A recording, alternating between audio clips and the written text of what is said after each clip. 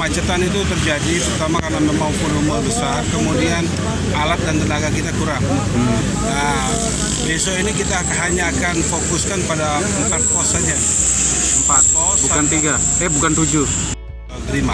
Gerimak. Berarti untuk Bintaro dan dan ya nanti seiring dengan penambahan jumlah jumlah peralatan mungkin kita akan tambah lagi. Ah, Ya, kita evaluasi terus.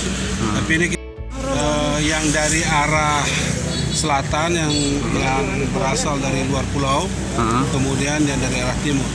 Jadi kita akan aktifkan empat pos. Yang mana aja pos Pos mana? Dasan Cermen, Ah, pos Turide, ah. pos pos itu Pos dulu. pos dulu itu dulu. Sehingga sumber daya kita fokuskan ke empat pos.